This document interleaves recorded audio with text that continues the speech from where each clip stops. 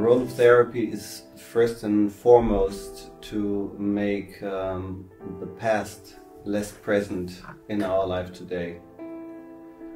Um, for everybody, uh, our childhood, our past uh, significant events in our lives uh, have, of course, shaped our life. Um, and therapy's role is to tone down this this noise that runs in the background um, and to make us to make ourselves more present in our lives today.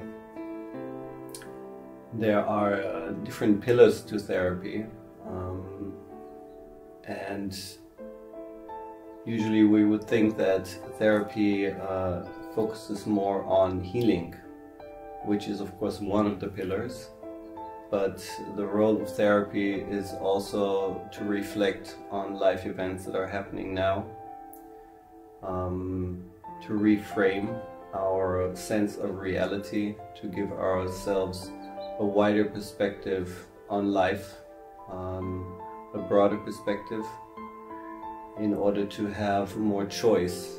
Um, we are, of course, um, influenced by our past very strongly and by the roles we have learned to play.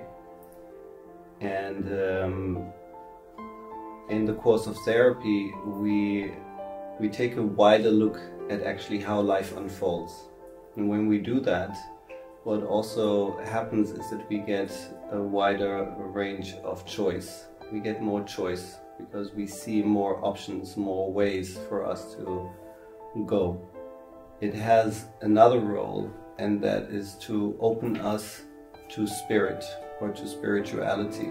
And the reason is as long as we are focused on ourselves, on on who we are, of what our role is, of uh, which role I have to play, which role I have to um, satisfy opposite people who are close to me, opposite society, in our work, whatever.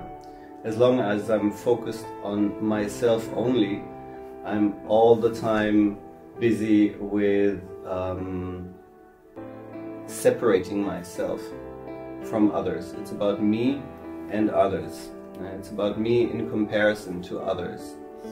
And this way, we, um, we actually feel separate from life the roles we have learned to play out in our lives, the character we have taken on, our personality, all these take us away from being part of something bigger,